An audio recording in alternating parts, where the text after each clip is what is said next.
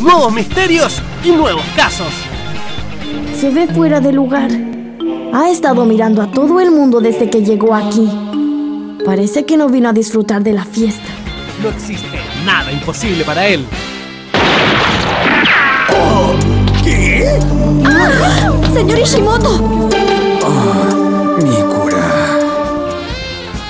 Su cuerpo es el de un niño, pero su inteligencia la de un adulto.